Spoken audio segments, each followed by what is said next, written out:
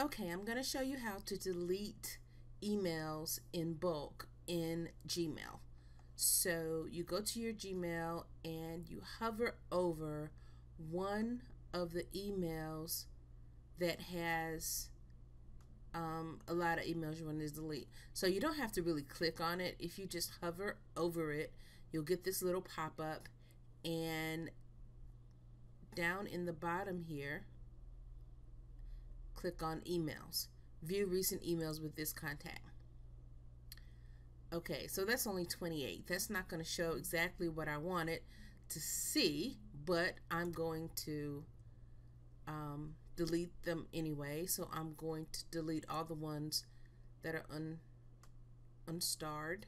So we're going to go with Google Alerts. And you don't have to click on it, just hover over it and then click on emails in this little box and it's gonna say that it selected 1 to 100 of many or of many is what you want to be looking for. So I'm gonna just do all unstarred because sometimes I will star one because well I think I'm gonna keep this one. I want to read this. I want to I want to read that. All right. So I'm going to do all unstarred. So it selects all unstarred. So what it what it normally does is it comes up let's do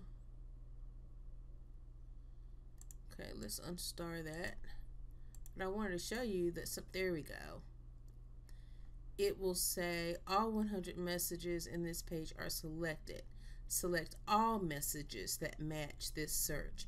That means that you don't have to keep doing this little forward arrow, um, arrow to get all of them. Okay. Select all messages. All messages are selected and we're just going to delete them. That's all. It will affect all messages in the search.